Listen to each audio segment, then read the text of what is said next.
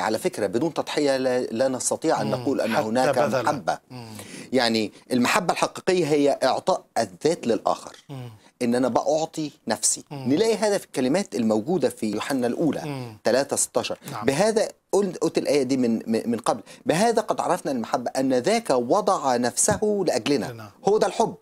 عندما وضع نفسه لأجلنا. في إنجيل يوحنا أصحاح 15 يقول المسيح ليس لأحد حب أعظم من هذا أن يضع أحد نفسه أحبائه. أحبائه. الله أحب.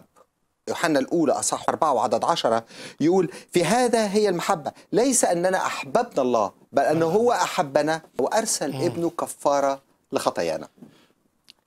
على فكرة أكبر علاقة حب موجودة في عالمنا هي الزواج.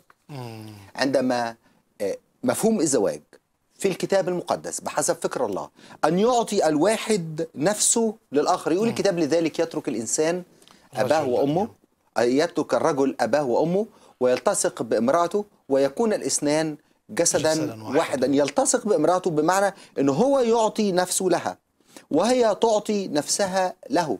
عشان كده لو في واحد بيفكر إنه يرتبط بأكتر من امرأة ده لا يوجد حب ده يوجد مصلحة يوجد أنانية يوجد حب امتلاك يوجد علاقة تجارية. أنا أعطي فآخذ لكن الحب هو الذي يعطي فقط.